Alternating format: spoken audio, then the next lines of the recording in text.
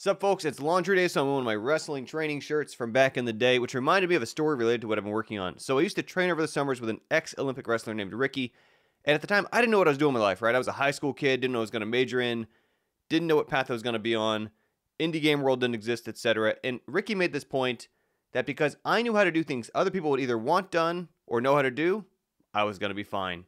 And sure enough, that's how I've made my living most of the past two decades not actually in a traditional job, but by doing things that people either want to know how to do or needed done.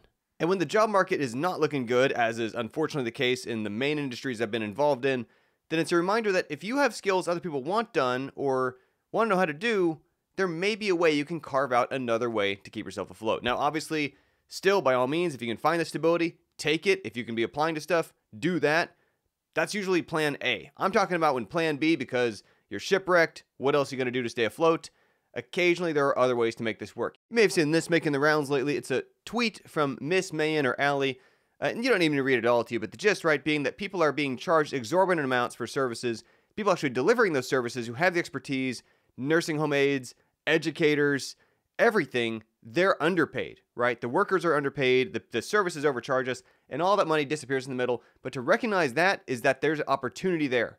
Meaning, if if and where you're in some sort of structure where it's appropriate that you can actually do business directly to people who need work done, to realize how much waste there is in the middle, going to people who don't know how to do the work and aren't doing the work. But if what your skills are in that you can do or help people learn how to do are in a space where you can just directly find people who need that done and do it for them, it means you may actually be able to charge them less, but be making more when it's not all getting sponged and absorbed into 400 other people in the process who are contributing next to nothing, don't know how the work is done, all they were doing was slapping a brand on it. If you're in a really low paying job, that can be obviously a source of frustration and grief. It also means that that's that much smaller of a fence keeping you in.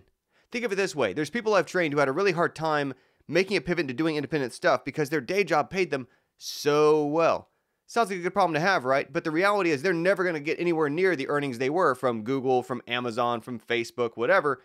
And so they just felt stuck if you are feeling like you're underpaid or you're having a tenuous situation, again, it means that the barrier can you earn more than that? Maybe. So that's where I started, right? When I was a graduate student trying to figure out can I make my living as an online independent educator?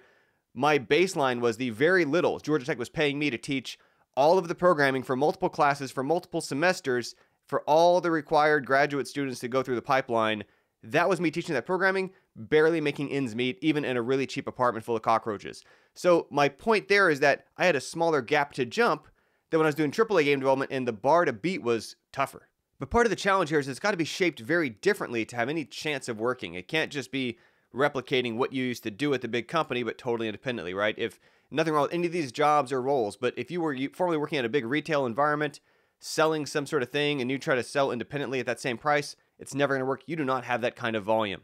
If you used to make blended drinks and smoothies for a corporation that gave you the formula for Orange Julius or something, you go try to sell smoothies independently, it's going to be really hard to make those numbers work because once again, you do not have that volume, you don't have that brand recognition.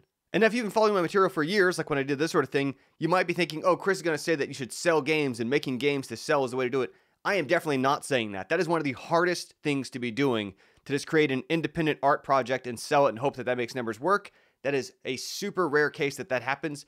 I'm going to be talking about instead other directions, other vectors, other ways to shape what you're doing around what your priorities, what your goals, what your interests are, what your situation, opportunities, and positions are. But it is usually that is not usually the best answer. If you have the skills to do that, we might be looking at how to part those skills out into other ways you can continue to do your work independently, perhaps even to support those kind of projects. But that is usually not the primary plan. Instead, you've often got to work backwards from what is it you can do that's high enough value and more unique to a narrower niche that will never make sense for the larger agencies or institutions to be able to target because you can do things that are better adapted to your strengths and weaknesses. But this is also wildly different than just doing whatever you want, whatever seems fun, whatever interests you. That is a hobby and that is valid, that is fine, that is not a business. Part of the work is also in figuring out how to think about these so in your Venn diagram of what you can do and what you can reach people who will pay for, where is that intersection is a non trivial amount of work and a different shape of thinking than we typically come into it from. So I'm building lots of material around this. Go to feelbetterselling.com for more information about that as it becomes available. I'm really wanting to help other people do this sort of thing. And I say this sort of thing, not exactly what I'm doing, right? I'm not trying to make you like me. I don't expect your results or outcomes to be look in the same shape as what I've done. But can you build on the things I have figured out over the years between myself, between talking to other peers, between helping to support other people through, try and take their first steps in this direction? Can we get you into a situation where you feel confident promoting your work independently, where you feel capable of putting a price on it? In fact, a real sustainable price where you've worked out the numbers to realistically have any sort of shot. If not even on the first release, on the second, on the third, are you building sort of longer arc? It's kind of what we're talking about in feelbetterselling.com. If it interests you, I want to help you build those foundations. And again, obviously, it is a sort of thing where if you still have some sort of opportunity that is more stable, by all means, I'm so glad. Take advantage of that, continue to use that, but do not count on that forever, right? Things beyond our control happen, and sometimes it's not anybody's fault. No one did anything wrong. Industries shift, shapes change, opportunities shift around us. How can you be building a better foundation so that if and when that Titanic scrapes the iceberg, you find yourself with a head start on your life raft? That's it for now. FeelBetterSelling.com. Enter your email address there. We'll be in touch soon with more information.